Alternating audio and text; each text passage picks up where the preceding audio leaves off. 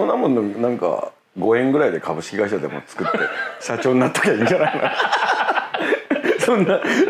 だちょっとその死をブロックしてる感じがしないから、うん、なんかのとこでかっこつけて死んだりする可能性 あるなと思うんだって。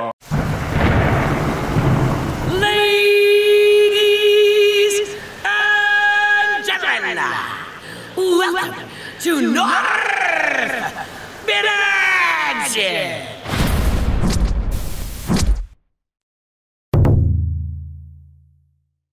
次の質問で、まあ、いわゆるその遊びを仕事とか、まあ、自由人とか遊び人とかもそうかもしれないですけど、うん、でもそれって社会的には信用されないんじゃないのかっていう社会的信用がないんじゃないのかっていうものに対してはどう思います、うん。うん、社会的信用がいつ必要なんだっていう。まあでもほらクレジットカード作るとか、それこそグリーンカード取るとかなんやとかいろいろまあまあ学校のなんか私立だったら面接とか、まあそういうのもあるのかもしれないですね。そんなもんなんか5円ぐらいで株式会社でも作って社長になっときゃいいんじゃないの？そんな。そうすると。なるほど、ね、もう何とでもなる。名刺でなんかそうそうなんかサインなんとかなんとかとか書いて5円 で会社作っとけば。で社長で。名刺だけ300円ぐらいですとかみたいなそうすればもう大丈夫じゃない？次第3章旅、うん。うん、引きこもりがちな自分ですがよく旅を進められます、うん、でも旅することがピンときませんやはり外に出るべきでしょうか、いやどっちでもいいと思いますよ。好きにした方がいいですよ皆さん。全然旅に出たくない人に出ろとは心から思わないって。さっきからその初めのあゆむさんの流した答え方ほとんど当たってる。すげえすげえすげえやばい。読まれてきた旅に出ようと思うのだけれどどこに行こうか決めきれない。何か助言ください。行きたいところに行ってください。それしか言いようん、あえて言うならその頭で考えることじゃなくねって、うん、2つ大きく分けるとあると思うんだけどそのなんかフィーリング系で面白いから行く話とミッションを持ってする旅が世界にアジトを増やしたいとかこれを見たいとかなんかあるからそれを見に行きたいなっていうのがあればまあそれでいいじゃんね、うん。まあ、場所とか人とかもうなんなら動物とか、うん、なんかそういうのを一個決めてそれを見に行くみたいな目的を持てば、まあ、世界のだからでね。そうそう。テーマ決めて旅するとかね、うん、まあそれこそ写真集見てこの景色すごいとか、うん、生で見るぞとかね。旅といってもそんな大それたこと自分にできるまああれですよね。旅なんて大それたもんじゃない。そうそうそう、はい、旅に行って何か変わるかな知らない。ひどい。まず変わる必要すらあるのかっていう問いもあるしね。俺あんま変わってないしねだって。旅人のイメージがある歩夢さんだけど旅の章不発でした。質問がね浅いんだよなんか。まあでも、ね、そういうふうにはでもそういう感じなんだよね現実ね。第4章金、老後に備えて貯金しておくべきでしょう、うん、したいですよね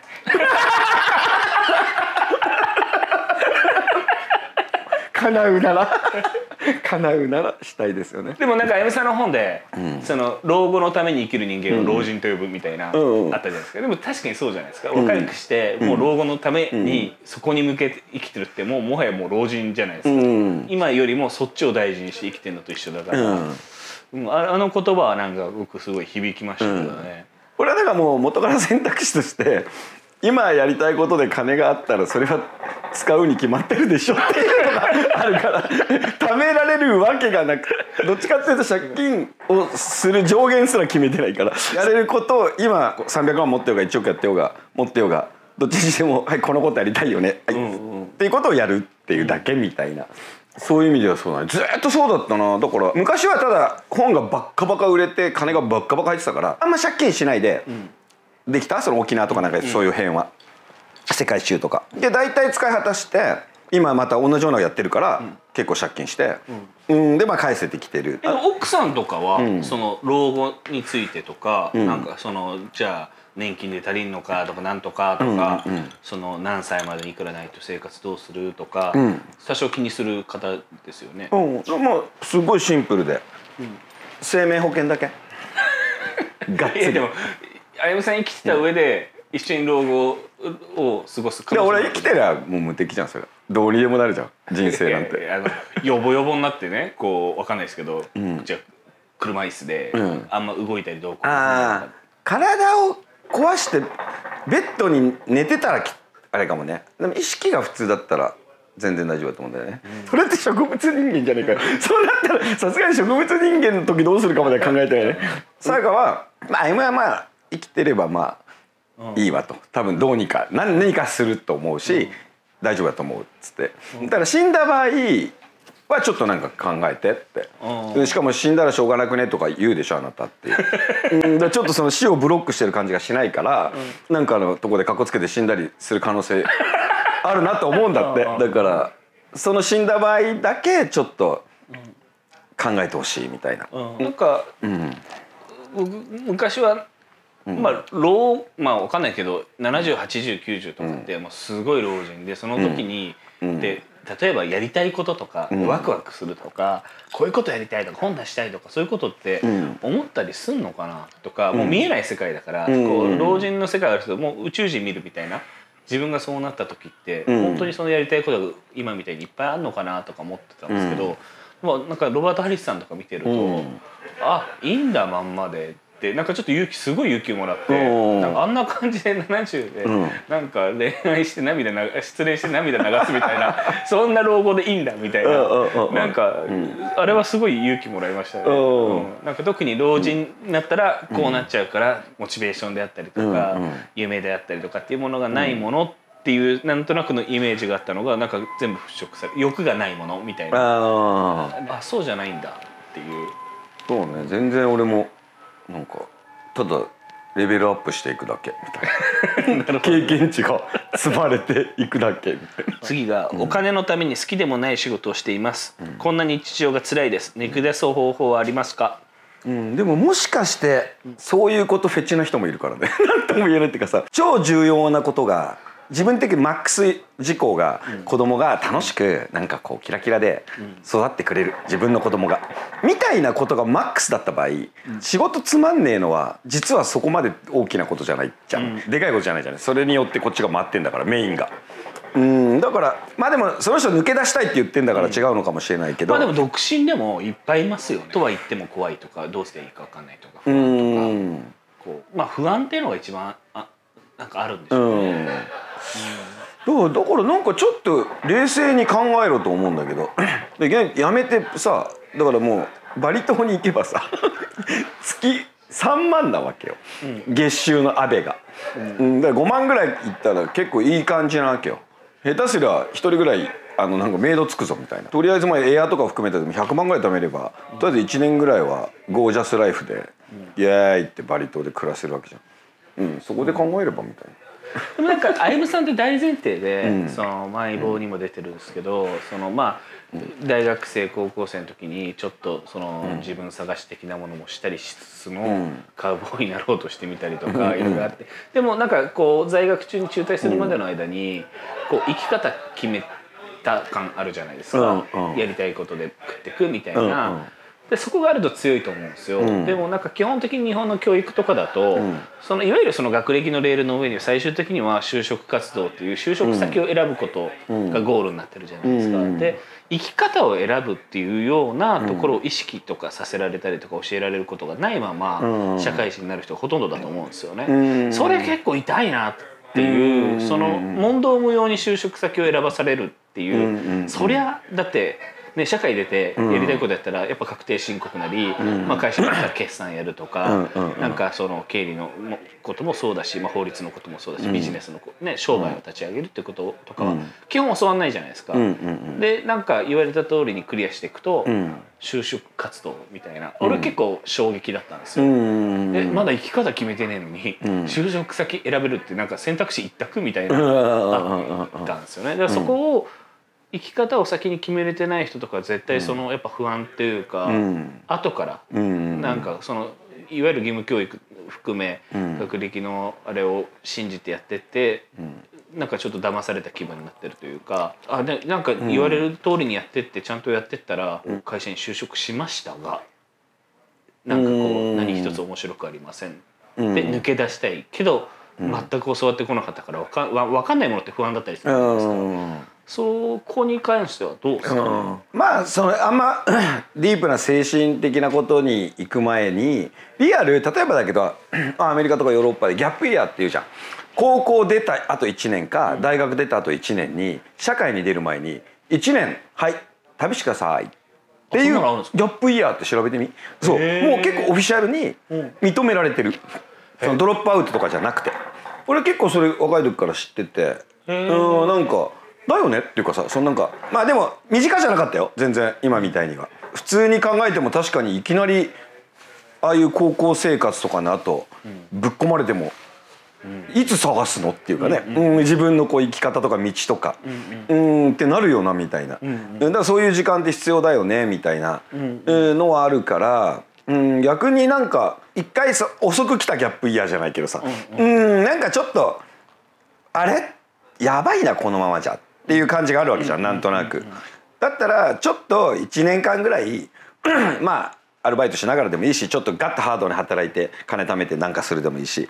なんかそういう、うん、時間を一回人生に挟んでみるみたいな。まあ、ギャップイヤーちょっと遅くてもいいじゃんぐらいの、なんかそういう考え方しとけば、うん、なんか落ちこぼれた感もなく、なんか今ってリアルなんか一個一個会社辞めたことって今マイナスじゃないで。社会でね、うんだから本当になんか落ちこぼれてないと思うから、うん、なるほどな、うん、それいいっすね、うん、あの大学中退的な。ああなちゃちゃ休学的な。休学,、ね、休学的な、社会人なんか休学的な、うん、なんかわかんないけど。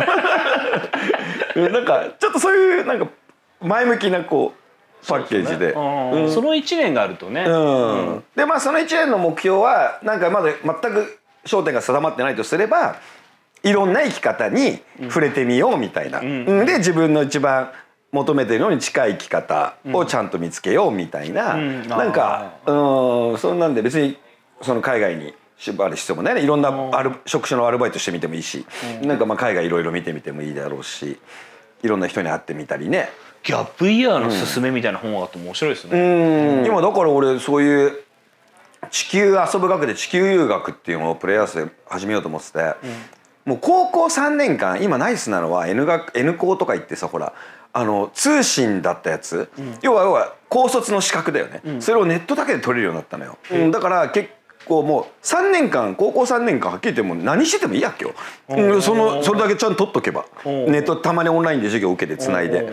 だから俺その隙にうちで全部こうしたあの世界のボヘミアンで受けてやっから超やべえ体験3年間全部ぶち込んでやるとか。それめっちゃいいっすね。いいでしょ。で1日12時間だけちょっとなんかよくわかんねえ高卒の資格だけ取っとけでほら親もそうだったらいいっていうじゃん。うんうん、そっから本当に外れちゃうとさ、うんうん、なかなか親もさ OK 出せない中卒になっちゃうみたいなさ、うんうん、そんなのをやろうって言って今始まってきてて、えー、なんか組めるとこ一緒組んでやろうぜ。そうですね、うん、なん。かそこがプラス3年それいけば、うん、一旦一人英語は喋れるようになりますよとかっていうオプションついたらもう完璧ですよ、ね、余計いいよな、うん、あとなんか日本で地域未来留学とかやってる兄ちゃんが来てでそいつはその都都会で育った子を日本の田舎今もう26校あるんだけど、うん、1年間ぶっ込むみたいなことをやってんだよね、うん、田舎留学みたいな。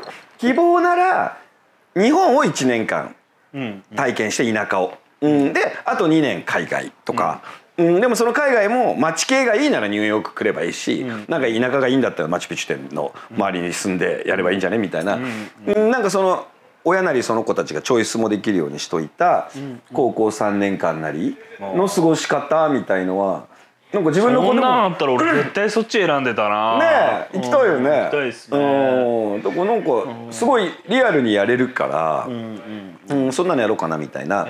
うん。でもなんか自分も学費を取ってってこと、うん。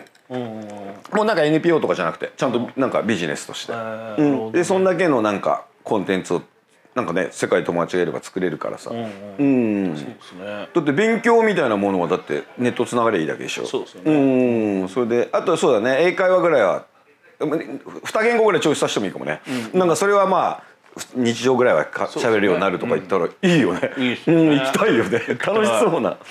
なるほどみたいなのは今なんか結構リアル。来年ぐらいからボンってやろうかみたいな、今もうウェブ作ろう。まあ作ってないけど、うん、作ろうぜってなんかねなんかこんな紙の資料みたいのができてきたよ。えいいっすね。なそれ面白いよな。なんかそうなっていったら。この人からやればいいんですかあの長倉さん本出したあの、スタンフォードの校長先生ねああいいねいいね。ああそういう人たちの授業も入ってくると余計いいよね。そう。あの人なんかスタンフォードなんかなんか偉い人らしいですよ。うん。その一講師とかっていうんじゃなくてあーちょっとこうパワーそうそうそう。そういうオンラインのハイスクールの校長先生だから、ああいいね。箔がつくね。そうそうそうああいいねいいね。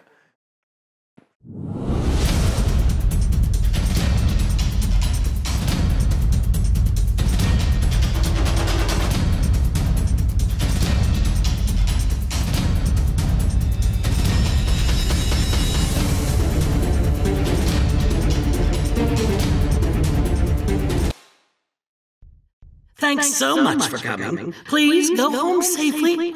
Uh, don't forget to always walk on the wild side.